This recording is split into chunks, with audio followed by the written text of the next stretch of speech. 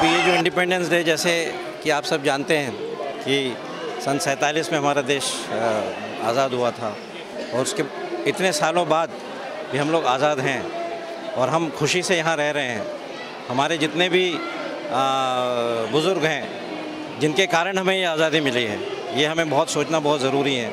हम उन सब के आभारी हैं कि उनके बलिदान के कारण आज हम लोग सब यहाँ पर स्वतंत्र है।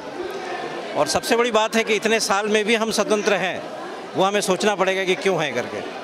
क्योंकि हमारी देश की सेना जो है, वो हमारे बॉर्डर्स में हमारी देश की रक्षा कर रही है, सुरक्षा कर रही है।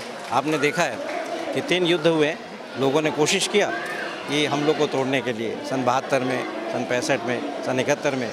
लेकिन फिर भी हमारी सेना डट के खड़ी रही और खड़ी रहने के बाद भी हमारा देश आज स्वतंत्र है। सर, आज आप यहाँ पे क्या क्या प्रोग्राम कर रहे हैं यहाँ हमारे जितने भी यहाँ के सोशल सर्विस के लोग होते हैं वो सब चाहते हैं कि हमारे सेना के साथ हमारे सेना के जवान हैं उनके साथ में यहाँ पे वो आ, कुछ समय बिताएँ उनके साथ। इनसे वो प्रेरणा लें कि कैसे वो इतनी बाधाएँ आने के बाद भी आज वो फिर से अपना दूसरा जीवन शुरू कर रहे हैं और हँसी हँसी से अपने इज़्ज़त के साथ वो जी रहे हैं यहाँ पे। तो वो सब आते हैं लोग देखते हैं ये बड़ी बात होती है। That is what is important thank you very much